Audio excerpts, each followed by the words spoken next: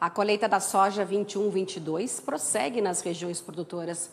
Para a consultoria Pátria Agronegócios, até o momento, os trabalhos estão adiantados em relação à safra passada. E eu vou conversar agora com o Matheus Gomes Pereira, que é diretor da Pátria Agronegócios, que vai então analisar o comportamento do grão nessa colheita. Muito bem-vindo e boa tarde, Matheus. Boa tarde, Simone. Prazerão estar aqui contigo, falando com todos aí, telespectadores da AgroMais. E é isso, a gente tem observado um plantio bem acelerado, Simone, ah, que acaba trazendo, enfim, algumas preocupações ao mercado. E quais seriam essas preocupações, Matheus? Porque a gente viu que as últimas estimativas foram de redução para a soja por conta aí da quebra é, de safra no sul, também no Mato Grosso do Sul. No último levantamento da Conab, a previsão é que o país vai então produzir 122 milhões de toneladas né, de, do grão. Esse número pode sofrer alterações? Como é que vocês avaliam?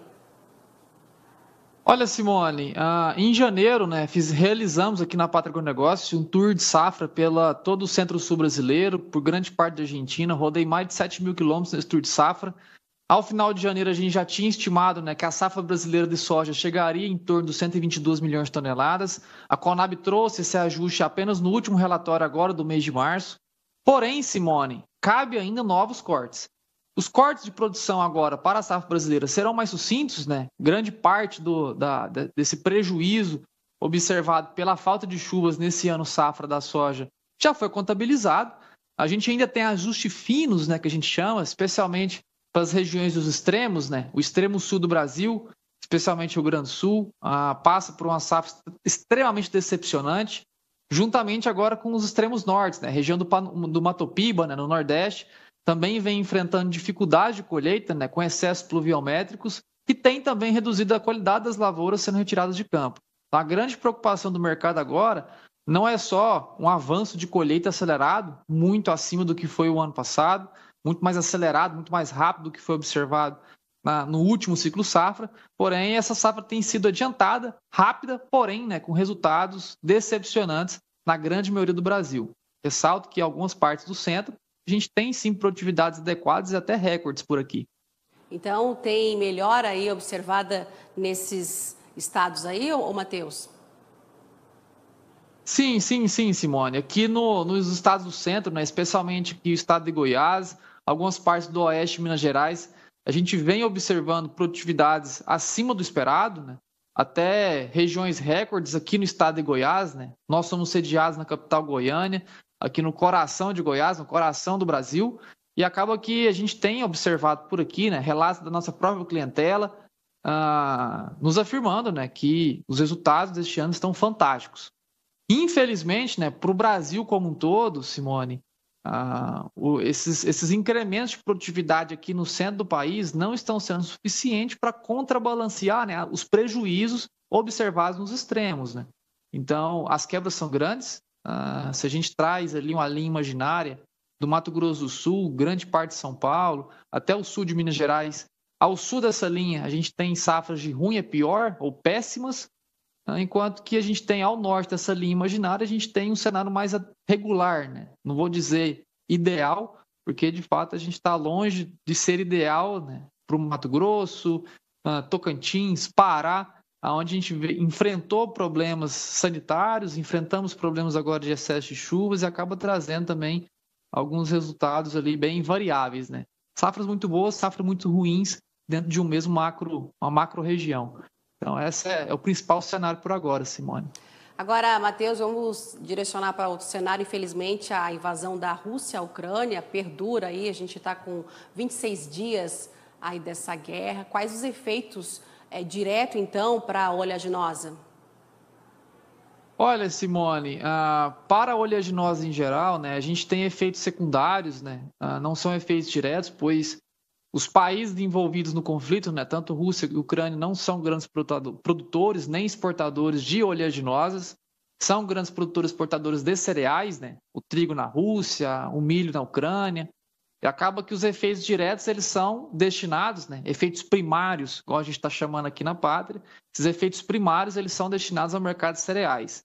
Agora, existem os efeitos secundários, né?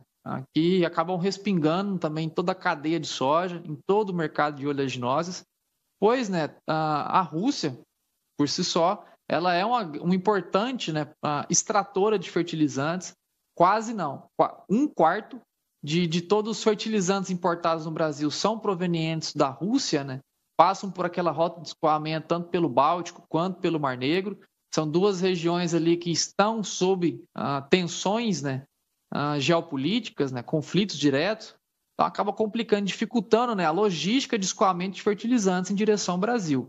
Para a safra atual, que já está em reta final de colheita, falta aí mais ou menos algo em torno de 30% da safra de soja brasileira para ser colhida. Segunda safra de milho aqui no país, a gente não tem efeitos diretos na falta de distribuição, a, a, a má logística de distribuição de fertilizantes aqui para o Brasil. Porém, Simone, se a gente olha no cenário de longo prazo, né, já visando a nova safra brasileira de soja, que inicia ao fim de 2022, que vai ser colhida em 2023, a gente tem sim um fator alarmante, né, que seria eventualmente a má distribuição ou até a falta pontual de fertilizantes aqui no nosso país. A gente tem observado ali ah, as nossos, nossos representantes do governo, né, especialmente levantando a bandeira pela ministra Tereza Cristina, que tem buscado alternativas, né, não só com o Plano Nacional de Fertilizantes, que não são ah, soluções da noite para o dia, mas também né, aproximando os laços comerciais com outros fornecedores de fertilizantes que poderão suprimir né, ou suprir essa potencial falta do produto de origem russa. Né? Então, essa é a preocupação de longo prazo, Simone. Nada de agora, nada de imediato por enquanto. É, Matheus, é, sobre o Plano Nacional de Fertilizantes, o Brasil tem que esperar os resultados aí, está muito recente, né? eles trabalham com resultados a médio e longo prazo, mas eu te pergunto, qual a análise de vocês, da consultoria, em relação a essa aprovação aí do Congresso, em relação à taxa de fertilizantes, né, a diminuição da taxa de importação? Olha, Simone, isso aí é um bom ponto a ser levantado, né? A gente sempre tem essa, essa discussão nos bastidores políticos, né, sobre eventualmente poder extrair mais das nossas fontes minerais fertilizantes aqui dentro do país, né? Temos aí mapeado todo o Brasil ah, fontes diretas, né, que conseguiriam suprir toda a necessidade de importação de fertilizantes do Brasil. Claro que nada da noite para o dia, ah, esse conflito geopolítico acabou trazendo, não, não vou dizer benefício, né, mas a gente pode sim espremer esse limão chamado guerra geopolítica Rússia e Ucrânia e fazer uma boa limonada aqui no Brasil. A gente voltou a dar mais espaço para essas pautas de ah, poder ter a liberdade né, de extrair aqui dentro do nosso país o produto que a gente usa e importa de outros. Então, acabou ressaltando né, e escancarando a dependência hoje que o Brasil tinha ah, de um único país que está sempre em conflito. Esse não é o primeiro conflito que a, a Rússia entra nos últimos quatro, cinco anos. A gente vê o quão, o quão recorrente é né, a, a busca por, por essas tensões geopolíticas no governo de Putin.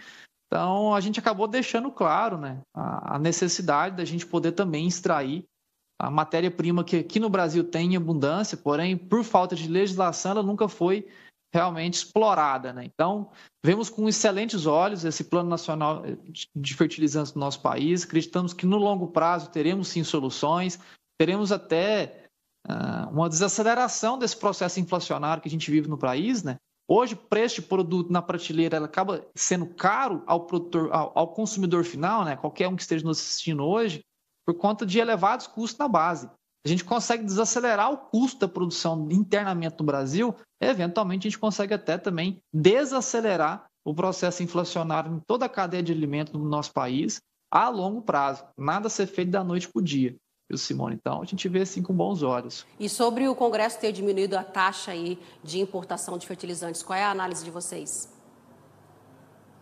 Olha, ah, Simone, aí é um fator delicado, né? Que de fato a gente não tem ainda soluções de, de médio, longo, curto e médio prazo, né? Ah, apesar de a gente estar tá falando de uma safra que se inicia ao final desse ano, todo o processo de importação dos fertilizantes que serão distribuídos no Brasil para a soja ou para o milho verão ah, no finalzinho desse ano, no começo do ano que vem, são fertilizantes que já deveriam estar entrando no país, eventualmente já está em rota marítima, né? Para chegar aqui no nosso litoral dentro das próximas semanas ou poucos meses. Então, acaba dificultando né, esse processo de a gente achar quem, quem serão os compensadores. Então, tá é um ponto de atenção, nada da noite para o dia. A gente tem que ficar bastante atento a essas, essas, essa taxa de importação do Brasil. Tá certo. Matheus, para a gente finalizar aqui sobre o estoque global de grãos, o relatório da FAO, divulgado na semana passada, mostra é, a necessidade, então, de se reforçar os estoques, porque a demanda tem aumentado nos últimos meses, né, mais agora em relação à guerra na Ucrânia, que acelerou a necessidade de que providências sejam tomadas. Um dos reflexos seria, então, a pressão por reajustes é, no preço dos alimentos. Essa pressão pode se prolongar?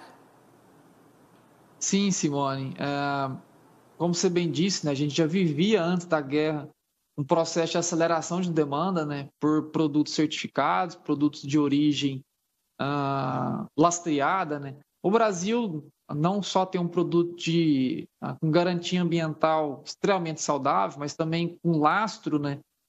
Uh, a gente conseguia colocar o, a nossa matéria-prima, né, não só o grão, mas a carne vermelha, em qualquer lugar do planeta, ah, trazendo não só rastreabilidade, mas trazendo segurança alimentar.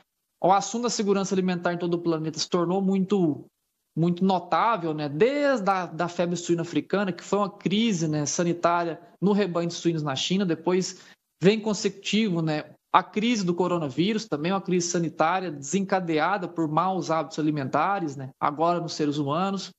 Então a gente já vinha, né, já há alguns anos discutindo, né, dando mais atenção à segurança alimentar em todo o planeta. E aqui o Brasil a gente é recheado de segurança alimentar. Então a gente de fato aumentou, né, a procura pela nossa matéria-prima, pelo nosso grão, pela nossa carne vermelha, pela nossa, por, nossas commodities agrícolas em geral dentro, dentro do país.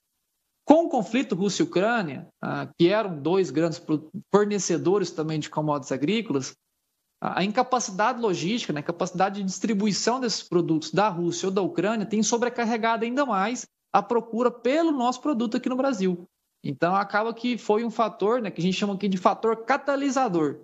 Essa Rússia e Ucrânia acelerou ainda mais o, o movimento né, de concentração de demanda pelo nosso grão, pela nossa proteína animal e que acaba dificultando né, toda essa cadeia inflacionária no Brasil. Então, Rússia e Ucrânia, a gente consegue sim trazer um paralelo com os preços do consumidor interno no Brasil, que acabam encarecendo né, o produto de prateleira, acabam encarecendo o preço da carne, encarecendo o preço de grãos e cereais consumidos né, nas prateleiras dos supermercados, por conta de uma aceleração do processo de demanda por produtos uh, de origem, né, por produtos do, com, com qualidade sanitária, que o Brasil tem de sobra, e, e dificulta ainda mais né, a vida interna do brasileiro, né, que já pagava caro no produto, acaba pagando um pouco mais, por conta de mais e mais procuras né, de pessoas de fora do país por um produto que é, uh, que é consumido e produzido dentro do nosso país.